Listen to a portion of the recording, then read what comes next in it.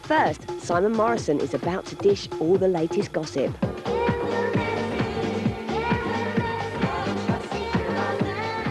My name is Simon Morrison. I'm the editor of Ministry in Ibiza magazine, and I've been given the auspicious job of stepping into Danny Clockwork's shoes, and boy, do they stink.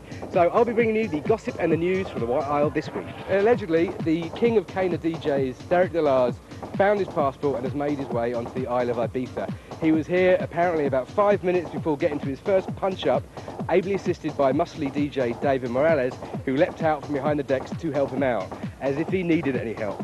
Posh Spice was out last week singing her new track Out of Your Mind. Bish, pash, posh, everyone's a winner. Yep, except if you have to pay for it. There's entourage of over 20 and one of the villas alone cost over £6,000 for one night and included its own disco. Bill, an estimated £70,000. Ouch. Believe it or not, aside from the pissheads of San Antonio, Ibiza is also popular with people who can read.